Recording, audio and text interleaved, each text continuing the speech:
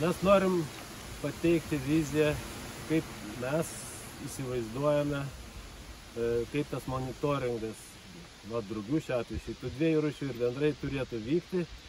E, Tai vat ir pabandysim na, savo viziją kažkaip pristatyti. Buveinė, ar tai rušių monitoringas, mes dabar šnekam apie rušių monitoringą, turėtų turėti kažkokį tai tikslą. Tai, iš esmės Lietuva įsipareigojo prieš Europos Sąjungą stodama, kad laikysis tam tikrų bioįrovės nu, apsaugos reiškia, principų ir pasirašė turbūt tas kaip ir susitarimas, sakykime taip, kad steigs pagal buveinių direktyvoje nurodytas buveinės ir rušis tose prieduose, steigs toms rušims ir buveinėms saugomas teritorijos, taip sakant, įkurs Natura 2000 tinklą. Vat, ir tas buvo padaryta pas mus Lietuvoje labai greitai ir šiek tiek skubotai ir kaip mes dabar išsiaiškinam, gana neatsakingai kartais. Vat, nu ir atsirado tas didelis šiuo metu kažkur apie 500 tokių teritorijų Natura 2000 tinklas. Na ir pagal idėją, nu, kiekviena ta teritorija saugo kažkokią vertybę. Tai gali būti buveinė, gali būti buveinė ir rušis, ar tik tai rušiai skirta ta, tas bastas, tai buveinė apsaugai svarbi teritorija. Na ir atitinkamai tas bastas ir tarnauja tam, kad ta vertybė, kuri tenai užfiksuota, turėtų išlikti ir jos būklė bent jau neblogėti. Nu, o noras, kad gerėtų. Kad mes galėtumėm na, pasakyti apie tai, tą būklę, kokia tos vertybės būklė, mes pirmiausia turim inventorizuoti, rasti, kur ta, tas, tas vertybė yra, tam bastė, toj buveinės visoje teritorijoje. Tai yra mes turim kartografuoti tos rušies gyvenamą veisimosi praktiškai vietą, e, visas įmanomas, nu, kur jinai ten gyvena, ar kur gali gyventi, jeigu mes tas aplinkos sąlygas, buveinės sąlygas pakeistumėm tai rūšiai palankę linkme.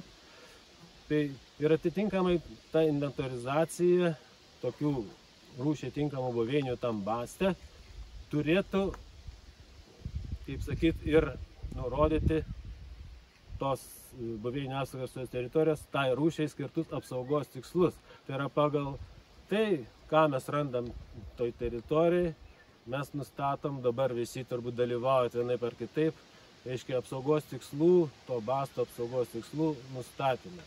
Kai jau mes turim inventorizavę tam vastę tas buveinės, žinom, ką mes ten saugom ir tuose apsaugos tiksluose mes, nu, kaip nurodom, kad mes tipo palaikysim palankę būklę ar atkursim tą palankę būklę šitai rūšiai.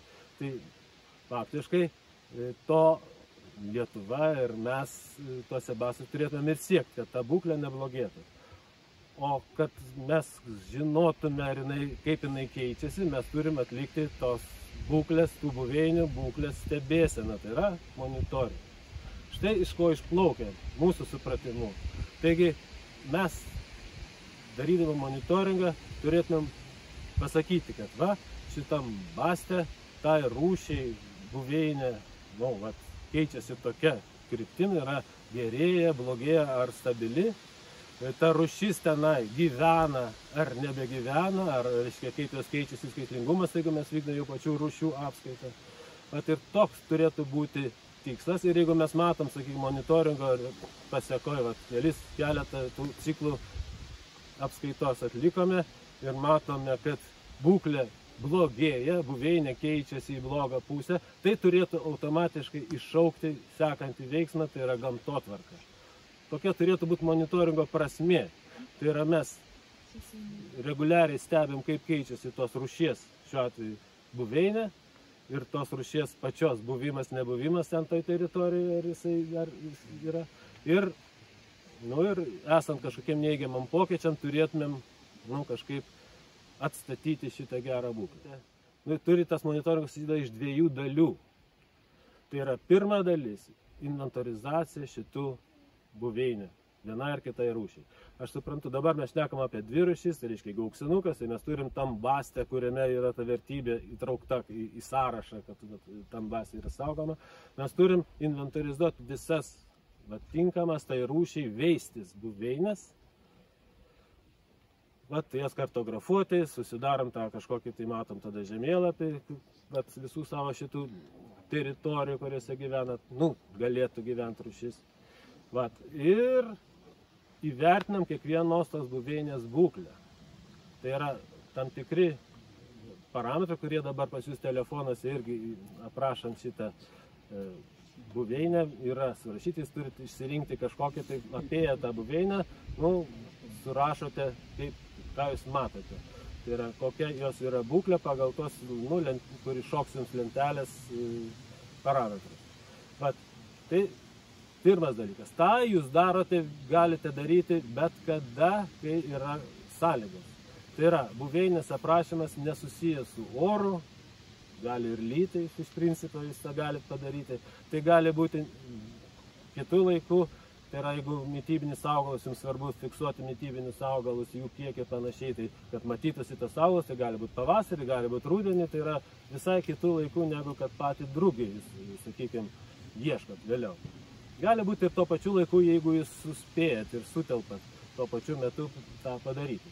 Bet iš principo buveinių paieška, inventorizacija gali vykti nu, ilgą laiką, net ir tarp atskirų monitoringo ciklų. Tai yra vat, pas jūs kas trys metai, sakykime, tai rūšiai vykdomas, nu, kaip sakyti, pačių e, drugių apskaita.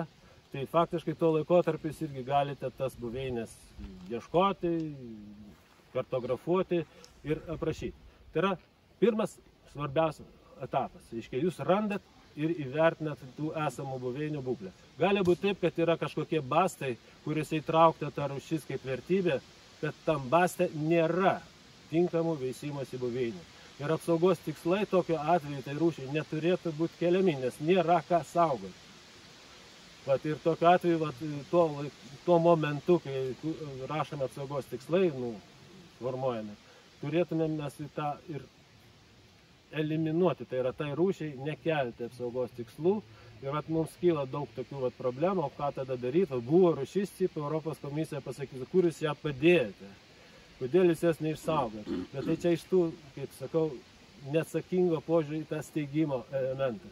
Nes nu, tuo metu nebuvo informacijos, nebuvo duomenų apie tas visas rušis ir realiai kokie tik duomenys buvo, rado ten praskridus kažkur miške kažkoks tas auksinukas toj teritorijai, reiškia jisai ten yra ir buvo įdėtas į vertybės. O realiai nu, jisai ten tik migruoja, kadangi jo tokia biologija, jis gali lėkti kažin kur ten tas drugys ir ten nesiveisti. Tokiu atveju mes negalim jo kaip apsaugos tikslus traukti. Ir va šitoje vietoje mes galim koreguoti dabar tos, nu kaip, sąrašus vertybių vienam ar kitam bastė. Tai aišku, šauks kažkokia tai gal neigiamą reakciją iš Europos komisijos, bet kito kelio nėra, nes negalim saugoti to, ko nėra. Ir dėl to faktiškai ir monitoringą tokiuose bastuose, kuriuose nėra rūšiai veisimosi buveinių ir o jūs ten, sakykime, jums nurodyta, kad ten vykdyti tos rušies monitoringą, nu praktiškai nu, nėra prasmės. Sutikit su to. Tai, va, tai dėl to vėlgi reiktų peržiūrėti ir šitos nu, vietas, kur iš tiesų, kuriuose basose iš tiesų verta, kuriuose nebeverta vykdyti šitos rušies monitoringą. Ta, tai gerai. Tai dabar, tai buvo pirmas etapas, mes įvertinam buveinės. O tada ateina kitas etapas, tiesiog žiūrim, ar toj buveiniai dabar, ar tose išskirtose rušis gyvena ar negyvena.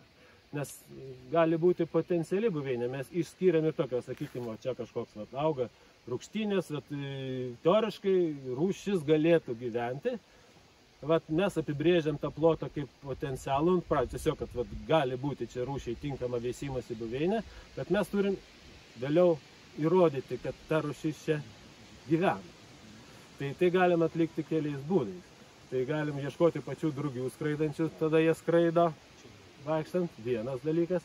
Bet vėlgi, tas, nu, kadangi monitoringas vykdomas vieną, du kartus, ar ne, jeigu nerandi pirmą kartą, tai e, galite ir nepataikyti tą momentą. Vat, metai nenormalūs, tie drugiai skraido kažkur tai vėliau ar anksčiau kažkada ir jūs nepataikėte į tą skraidimo momentą ir faktiškai atėjote į tą buveinę, nieko neradot, nu sako, ten rušys negyvena. Tai čia vat, problema su suaugiais, su drugiais. Bet yra kiti metodai.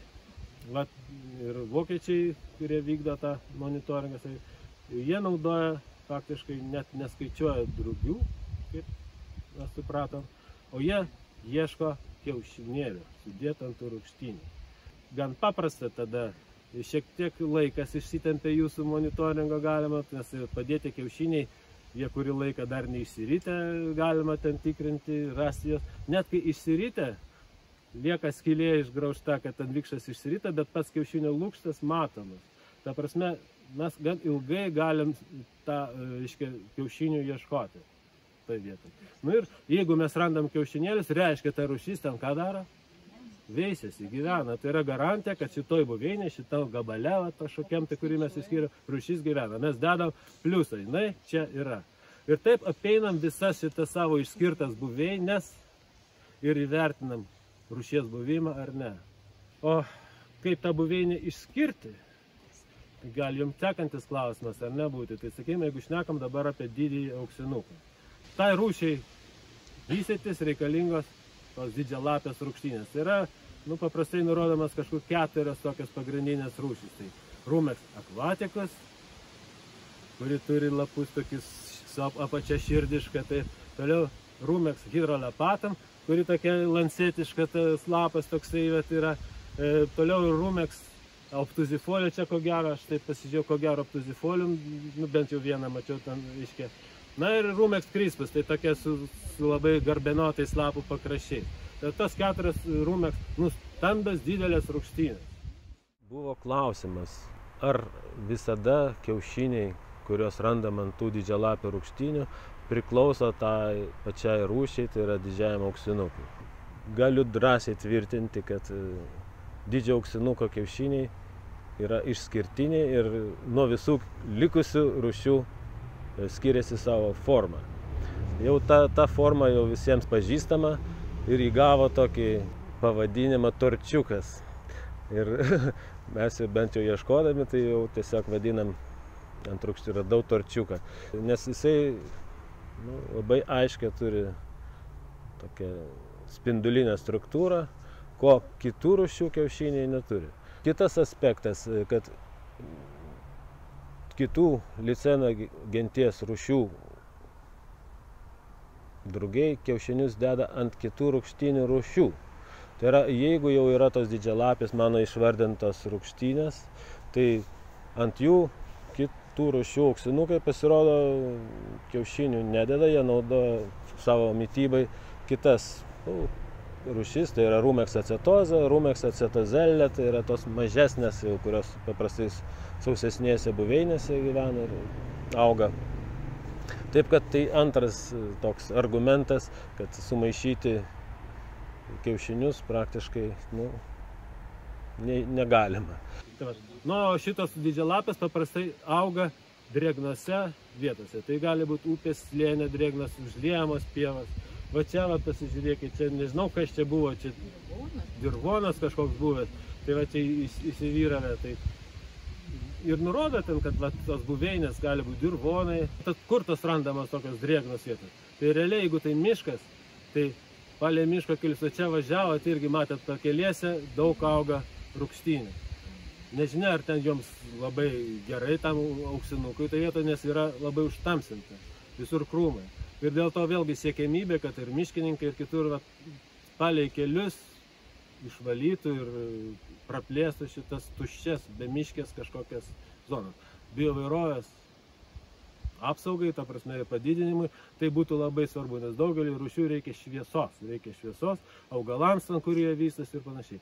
Tad šičia vėlgi, jeigu tie greviai būtų išvalyti nuo krūmų, to apačiai vanduo, ten greičiausiai auktų rūkštynės ir galėtų vystytis auksnukas. Tai tokios vietos vėlgi ieš, miškose ieškotinas tokios vietos kaip buveinės. Ir jeigu randat kažkur tai pakelėse tokias vietas su rūkštynėm, kuriuose gali veistis, nu, kadangi yra metybinis auksinukai, jas brėžiam kaip po potencialią buveinę, kurią reiktų tikrinti vėliau, reiškia, ten yra tas pats auksinukas. Toliau palei upes, kaip sakiau, oliuvinės pievos, labai mėgiamas, iškai, aukšti žolynai, vat, žolės vos ne iki čianai, tarp jų ten rūkštynės, bet vat ir įvairaus, šiemet žiauriai aukštas žolės, baisu, bet irgi vieta. Nu ir miško aikštelės. Vat, kadangi tas auksinukas jis įsiveisia kažkur, aš kaip sakau, oportunistas, naudos opportunity galimybę. Tai kažkur įsiveisia, patelės apvaisinamas ir varas iš kažkur tai miško keliuku, kuri rado rūkštynę, padėjo kiaušinius, nuskrydo toliau. Nu ir toj vietoj, vat, gal tik tais metais išsivystys, bet tai auksinukai. Kažkur kitur. Tai dėl to m, sunku labai tokias didelę, kad rasti didelę teritoriją, kaip čia, pavyzdžiui, kur daug rūkštynių ir vat, galėtų čia didelė populiacija būti ir visuomet rasti. Nu, tokių sunku rasti dažnai miškuose. Buveinių, auksinukai, tai aišku, jūs ką padaro, turit savo ortofoto žemėlapis ir žiūrit, kur yra kažkokios erdvės. Kas to erdvė? Užsidėt, reiškia, bėgysos sluoksnį, inventorizacijos buveinį. Žiūrit, kokios ten pievos, ar pievos, ten kažkokios yra natūrinė, nu, ta prasme, direktyvinės, ar šiaip kažkokia saugoma, nesaugoma buveinė. Nu, kas ten yra? Ir jeigu ten matot, kad kažkokia pieva, galbūt drėgnesnė, gal aliuvinė, tai reiškia, tai jau yra potenciali vieta, kur jūs gal galit rasti tinkamą buveinę auksinukų. Toliau, jūs matot, keliai eina keliai su platesniem, nu, pakeliam, galų gale važiuoja tais keliais ir matote, reiškia, kad yra tos kažkokios tai ertmės, e, atviros, neužtamsintos ir neužauga krūmais ir kad ten rūkštynės gali aukti ir auga. Vėlgi tai tinkama buveinė. Kažkokie pagrevi, melioracijos grevys eina per mišką. Irgi paprastai ten yra šalia dar kažkiek, nu, iškirsta, nu, nėra miško, kažkokia atviresnė erdvė. Vėl gali būti. Tad tokiose vietose, paupių slėniai, upės slėniai, daug pievų ten, va, kaip ir šį čia kažkur tai palei akmeną ar jūrą, ten kažkur didelės pievos ir ten, aišku, yra visokio plauko, ten ta augalyje ten turbūt yra vietų, kur auga rūkštynės ir tinkama pažemėjimas, senvagės kur buvę, ar senvagių kraštuose, ten paprastai tinkama vieta ir ten dažniausiai ir rūkštynės, ir tie auksinukai skraida. Tai, va, tai žodžiu, tai yra darbas. Tai yra darbas, jūs pradžioje pasiruošėt, nu, grubiai apsižiūrite ortofoto, kur ta gali būti, kur ieškoti, tada važiuojate į vietą ir natūrai pasižiūrit, kas tai per daiktas. Šitas auksinukas Nu, paprastai pas mus, aišku, gali būti dvi generacijos dažnai. Kartais net ir trečią išspaudžia ten kažkur rugsėjo mėnesį, dalinė trečia generacija išsivysto. Bet iš kitam tarpe pataikys tarp dviejų generacijų, vat, galima rasti ir vikšrus. Buveinių paieška dabar naudojant šitą kiaušinių paieškos metodą ir kitus būdus labai išsitęsia laike. Dėl to nu, nereikia taip skubėti ir derintis prie klimato sąlygų tam, kad e, inventorizuoti buveinių apsaugai svarbioje teritorijoje tas auksinukai svarbias buveinės. Nes be kiaušinių mes galim stebėti, be šviežiai padėto kiaušinių, mes galim stebėti ilgą laiką kiaušinius, iš kurių vikšriukai jau išsiritė. Jie matosi kaip tie tušti, tuščia viduriai torčiukai. Jie ilgai nenusiplauna nuo lapo ir netgi po mėnesio ir daugiau puikiausiai galima juos rasti. Va, kas irgi rodo tą patį, kad šičia auksinukas gyvena. Kitas dalykas, išsirytę vikšriukai labai e, tipiškai išgraužia lapą. Jis išgraužia vieną tik tai lapo šoną ir padaro lyg tokį skaidrų langelį. Tokį pailgą skaidrų langelį kuriame matosi, jeigu tai pažiūrėjus prieš šviesą, kartais matosi ir pats vikšriukas. Vat, ir net jeigu nerandat vikšriuko ir net jeigu nerandat kiaušinėlių, jie nusiplovę, sakykime, nuo lietaus ar panašiai, mes galim pažinti tą didžio auksinuko pažeidimą ir vėlgi konstatuoti, kad šis ta rušis gyvena. E, taip kad e, realiai e, tas laikotarpis, nu, paieškos laikotarpis išsitęsia kokius 2-3 mėnesius. Realiai galima rasti vienokį ar kitokį stadiją tą, reiškia, auksinuko gyvenamą vietą. nu, pagal kiaušinius, išsiritusius kiaušinius, vikšriukus, o vėliau ir stambesnius vikšrelius. Nu, aišku, po to antros generacijos, o dabar rūpiučio, rūpiučio vidury jau pradės skraidyti, nors negausi, bet tai antroji auksinukų generacija, vėlgi galima rasti drugius, galima rasti vėliau jų padėtus kiaušinius ir vikšrelius